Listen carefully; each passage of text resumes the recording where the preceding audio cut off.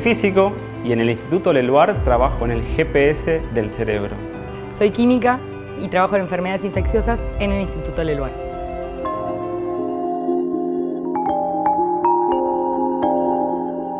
O sea, el LED estaría acá, el LED estaría en esta punta de acá. Sí. Y la luz tendría que bajar, tiene que viajar como en el Baja acá, y llega a la sube muestra y vuelve a subir y el, al sensor de imagen. el sensor estaría acá arriba.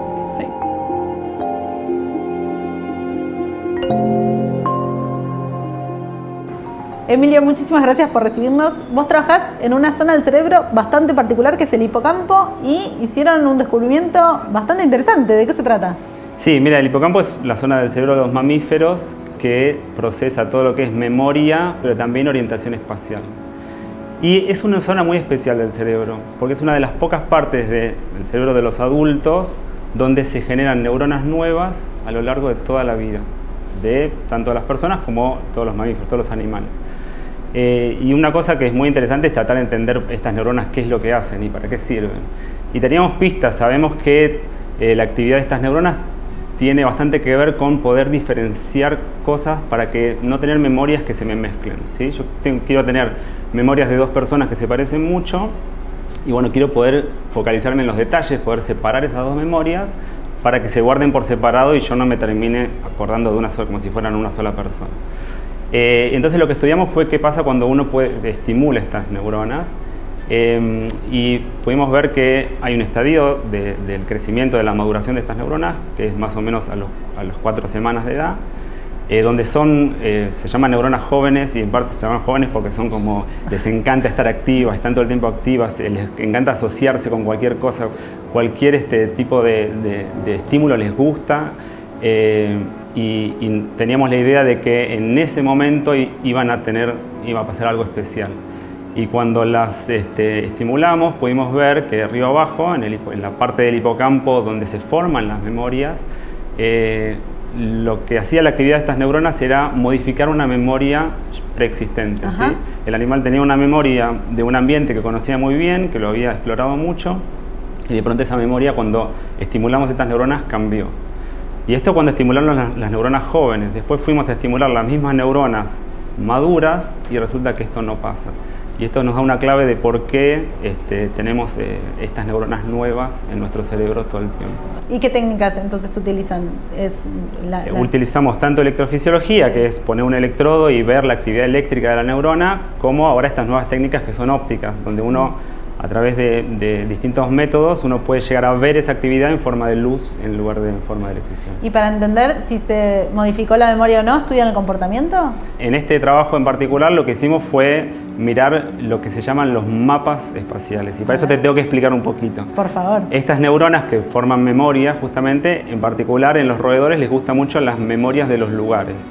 ¿Y qué quiere decir la memoria de un lugar? Bueno, es que cada neurona de mi hipocampo lo que va a hacer es elegir un pedacito de un ambiente y disparar en ese lugar. ¿sí? Disparar quiere decir, a nosotros nos gusta decir disparar, quiere decir tener actividad eléctrica, porque las neuronas lo que hacen es tener actividad eléctrica.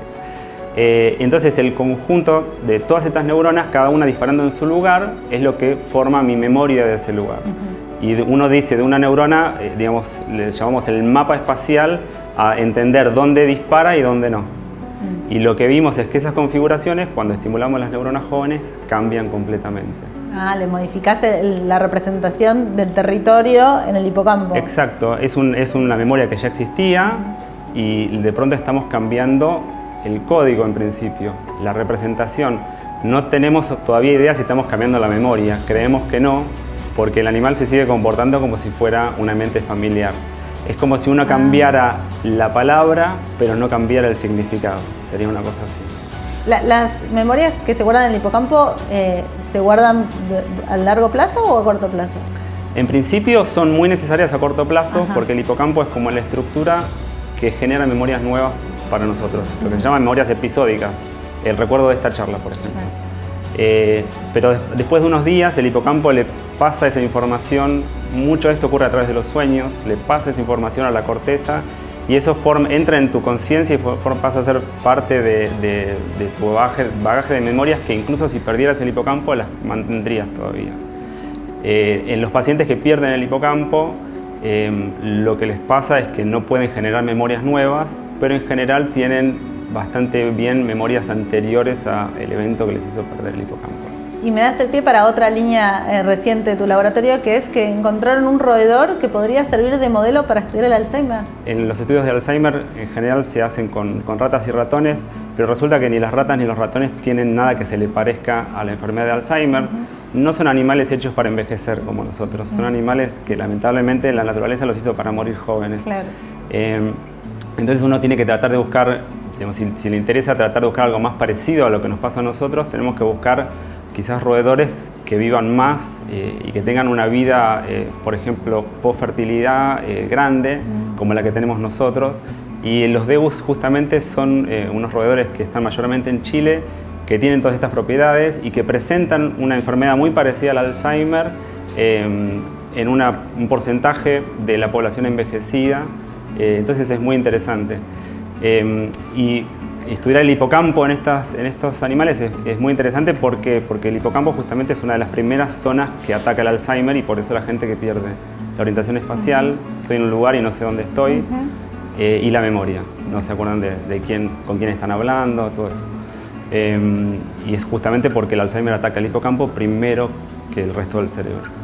Eh, y entonces, bueno, queríamos entender, bueno, ¿y cómo funciona el hipocampo de estos roedores? Porque en, en principio no sabemos, será Porque en igual que... el- En los, los laboratorios uno estudia más con ratas y ratones, que son los modelos que... Claro, que los venimos estudiando hace ya se 50 sabe, años. Claro, los genes, se sabe todo. Claro, pero en, en los DEBUS no sabemos. Y entonces justamente fuimos a hacer un, un estudio de cómo funcionaban los DEBUS y encontramos que eh, es bastante parecido. Los mecanismos, digamos, de representación son bastante parecidos en los DEBUS y eso nos da la pauta para, a partir de ahora, empezar a estudiar eh, DEBUS enfermos y ver cómo les cambian las representaciones, que- cómo, cómo se puede ver en la actividad neuronal esto que es la pérdida de la memoria, la pérdida de la orientación espacial y demás.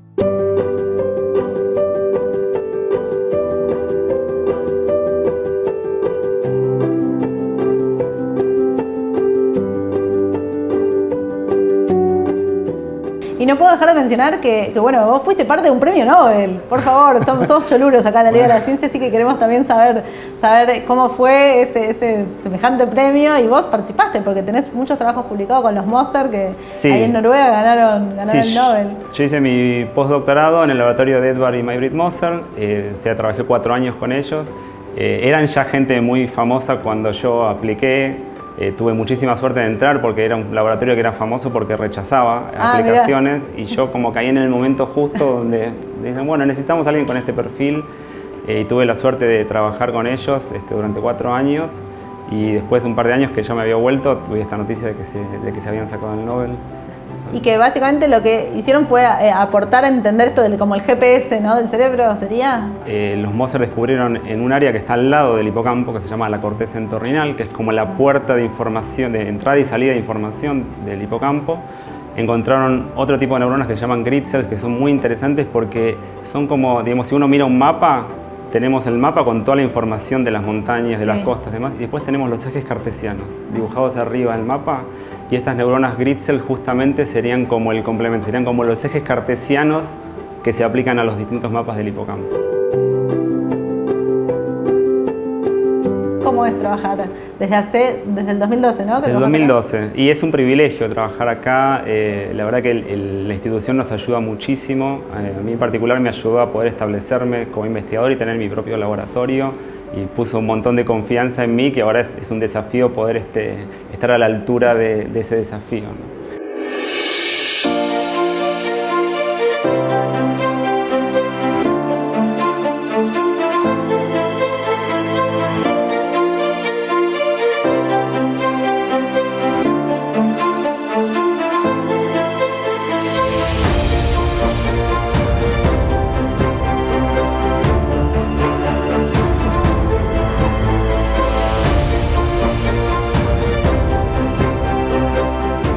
Marcar con acá no es atrapar nada, es simplemente que no siga reaccionando para que no pierdas el péptido.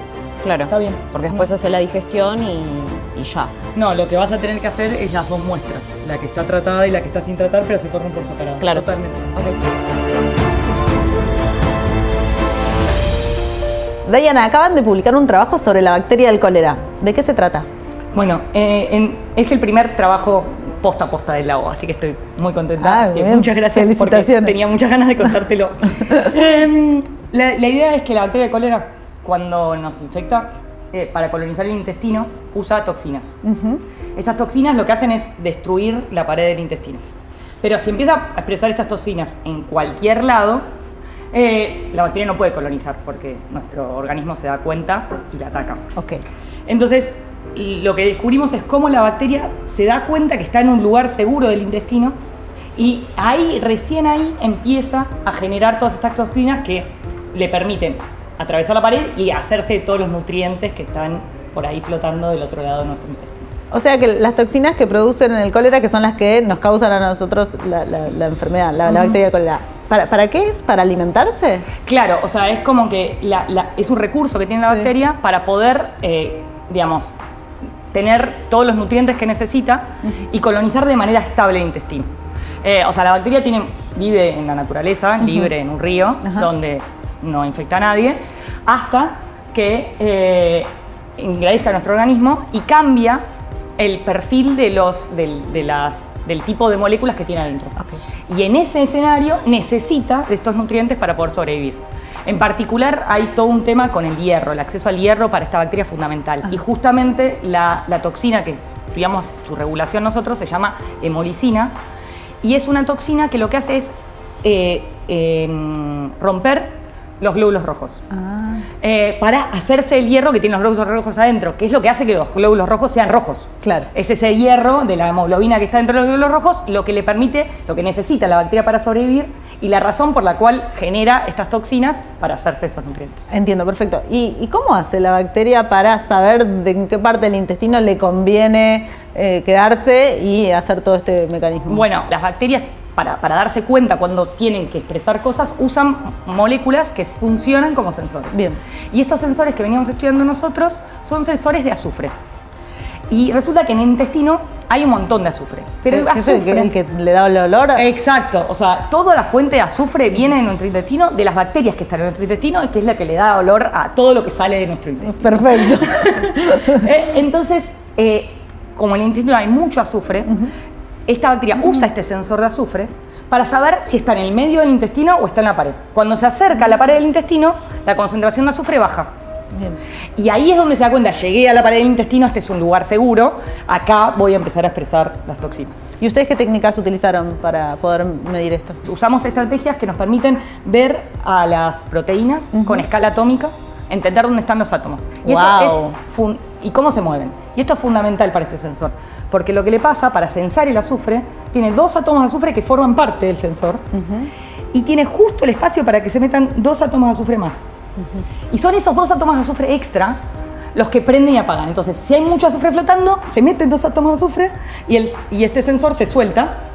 Y cuando se suelta, deja que eh, bueno, toda la maquinaria de la célula se ocupe de leer el gen de la hemolicina. Es como que ustedes estudian a nivel de átomos el switch de azufre de la bacteria. Exacto. Pueden saber exactamente que se meten estos dos átomos de azufre y cambia totalmente la conformación, se suelta esto y pasan cosas. Eso Eh, acciona una reacción en y cadena. usamos distintas técnicas para ver eso. La verdad es que es súper interesante cómo pasaron de estudiar otras bacterias que quizás no tenían apl- alguna aplicación en biomedicina ya, pero llegaron al, al cólera, que es una enfermedad que si bien eh, en algunos lugares eh, está controlada, en otros lugares sigue siendo un problema, ¿no es cierto? Eh, con cólera lo, lo importante son justamente que hay muchos brotes, que en principio, como vos decís, están controlados, pero es fundamental entender cuáles son los mecanismos que hacen que algo que tiene vida libre cambie y cambie a un estilo de vida en el que resulta patogénico y potencialmente mortal para nosotros.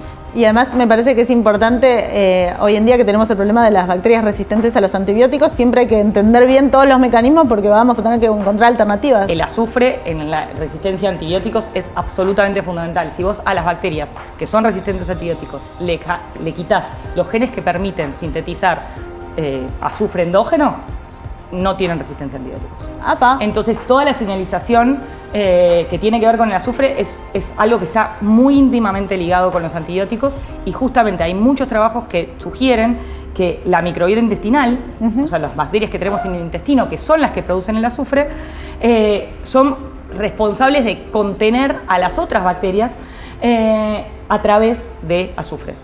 Entonces, cada vez que tomamos antibióticos y matamos a todas nuestras bacterias del intestino, desbalanceamos todo eso y eso nos trae muchos más problemas a la hora de tener una infección con una bacteria resistente.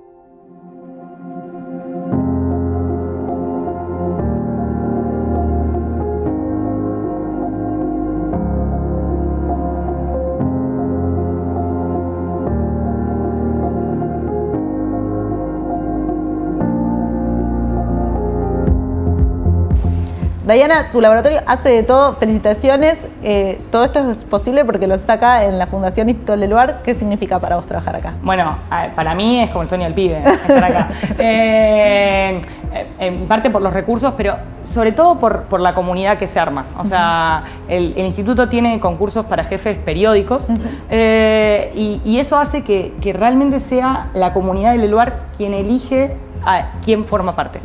Entonces, cuando entras y empezás tu laboratorio, que es difícil empezar un laboratorio vacío, eh, sabes que tenés tipo los cráneos más grandes del país ah, diciéndote, che, vos podés. O sea, nosotros confiamos en vos, hacelo, te va a salir bien. Y eso, la verdad, que hace una diferencia enorme. Eh, sobre todo porque hacer ciencia en Argentina en muchos momentos es difícil. Y al menos en mi caso, venía de Estados Unidos con muchas preguntas de qué iba a poder hacer y qué no. Y, acá es claro que se hace ciencia a nivel internacional eh, y, y eso te da como ganas y confianza en que, bueno, a veces es difícil, pero se puede. Diana, felicitaciones, un orgullo total. Me encanta todo lo que haces. Muchísimas gracias. Gracias, familia.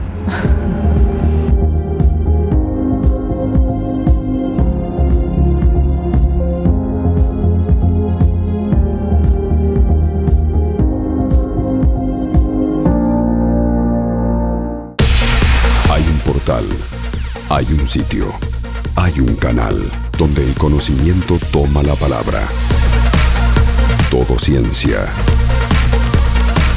Todociencia.com.ar Mucho más que noticias científicas.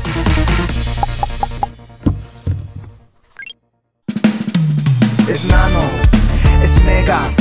La liga, la liga, la liga de la ciencia es alfa, es beta.